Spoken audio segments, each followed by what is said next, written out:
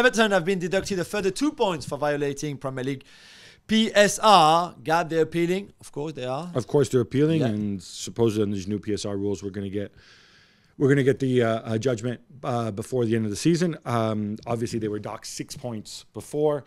That was under the old rules, um, which had a longer process. This is under the new rules, supposed to be provide real time answers. It sucks for them, but at some point, once you move to the real time system, there will be some overlap between the three years before and the three years now. Um, I think Everton have more serious issues in terms of their ownership situation.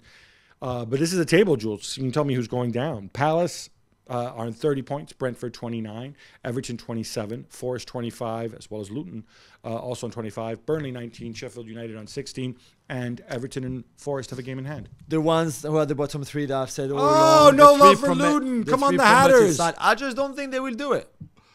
I mean, it's so close, Jules. It's really close. It's great because everywhere in this table we have competition. I'd be very concerned about clubs that have been trending the wrong way, like Brentford, for example. Um, it's easy to forget how we all assumed Luton were dead and buried, and now they're they're far from it. In, Yeah. in very very difficult conditions, they're right up there. I don't know. Um, I agree with you on Sheffield United. That's all I'm going to say Okay. right now. I'm still holding out hope for Vinny and Burnley. 777 partners, the Miami outfit who are looking to buy Everton. Gabi have asked for an extension to close the deal. It's Yeah. either you, you have the money or you don't have the money. What, what is a month going to do? All right. So this is I'm, I'm trying to piece this together. So obviously these are the people who already own either outright or they own big chunks of uh, of Hertha Berlin, of Yeah. Genoa, of is it Standard Liège, I think. Yeah, Red Uh, Star. Paris. uh, Red Star Paris, uh, Vasco da Gama, I think, Yeah. as well.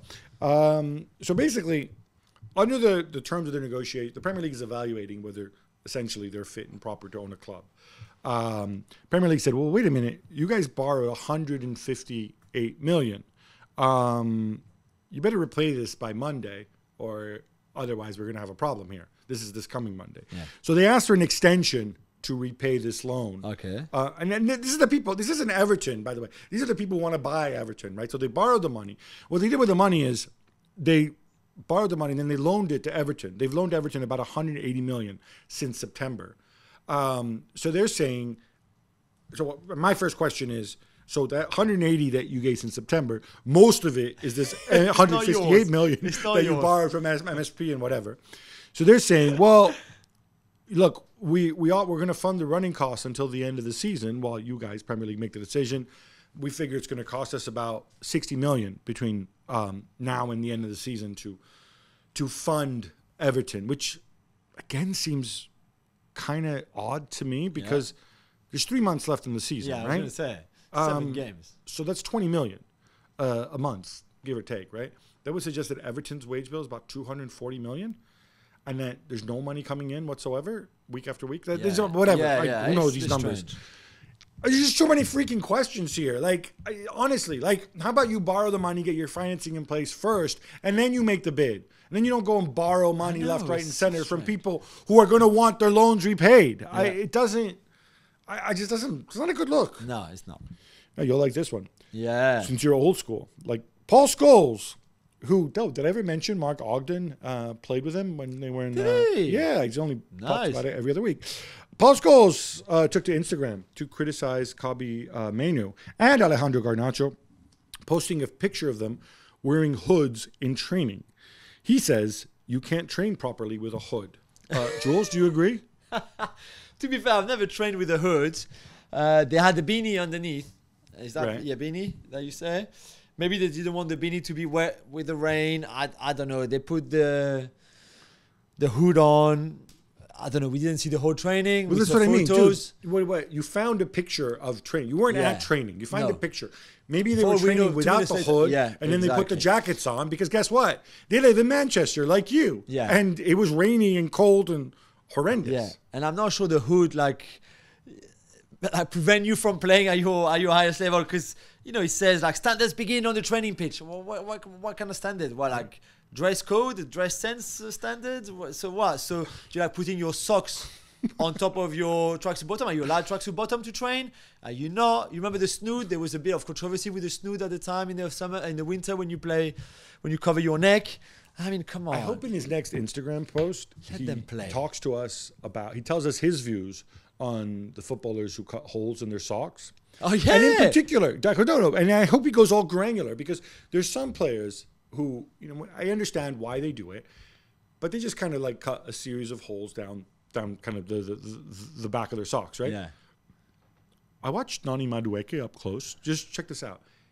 His it looks like Swiss cheese. He cuts them. There's no pattern to it. It seems different every time. So I'm like, are you making a fashion statement, Noni? Maybe. What does Paul Maybe. Scholes feel about it? I feel like I really need to good know. Question. A very good question. Let's hope he answers. Football director, not director of football, Nope, but football that's true. director. John Murtough is leaving Manchester United. Oh. Jules with Ratcliffe and Brace, Brailsford coming in, and Omar Berrada. Most definitely not a surprise. Not a surprise. We will miss him. Not really. Uh, not really sure exactly what he did or if he did it well, even. But He signed players on behalf of who the manager wanted. yeah, okay. Uh, well, in that case, he didn't do a great job. Uh, John Murtough, there's a reason why Fletcher, for example, is staying and not Murtough. Uh, it's a fresh start. They were always going to bring a new sporting director, director of football, football director, whatever way you want to put it. Uh, and it will be Dan Ashworth. And then I don't think they would have kept John Murtough within the club anyway. Fletcher, they're going to find another job. Uh, but for Murtough, I'm sure he will find another job somewhere in football. Chelsea have spent 80 million pound, Gab, on a building and land next door to Stamford Bridge to their stadium. Does this mean that they will be redeveloping that stadium rather than moving anywhere anywhere else? So yeah, so I mean, it's a complex answer here, actually, Jules. Okay. Um, basically, it's the it's called the, it's the Sir Oswald Stoll Mansions. Um, that's actually what it's called. Because Okay. We're in Nice. England and people have to have silly names. Yeah. I, I'm not. I don't know who Oswald Stoll was. I'm sure he was an important, kind person.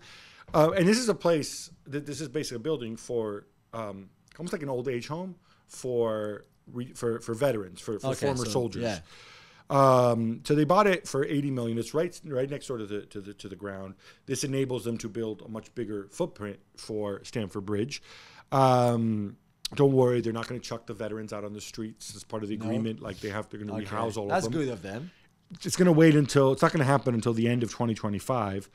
Um, they couldn't realistically move anywhere either because they have this weird agreement from or unusual agreement that I think protects Chelsea fans, dating back to when the club nearly went bust before, where the freehold of Stamford Bridge is owned by this organization called Chelsea Pitch Owners. Yeah. And they have to essentially, if you wanted to move Chelsea elsewhere, you would have to rename it something else, maybe, I don't know, Clearlake Superstars or something. Right. You can't keep the same name unless they agree on it. If, Okay. if Chelsea essentially move away from Stamford Bridge. Um, so this suggests to me that they've decided they're going to redevelop the land.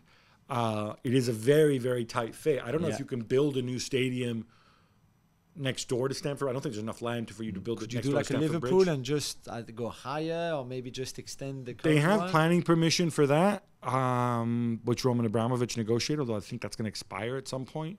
Uh, it's a tough one. I mean, they're Yeah. obsessed with they, they want more match day. They have a stadium that holds forty two thousand, and what they consider their peer clubs, Liverpool, United, Arsenal, Spurs, they all have much bigger 60, grounds. yeah. and oh, oh, and of course United might be getting a brand spanking new one. So, they, this is necessary.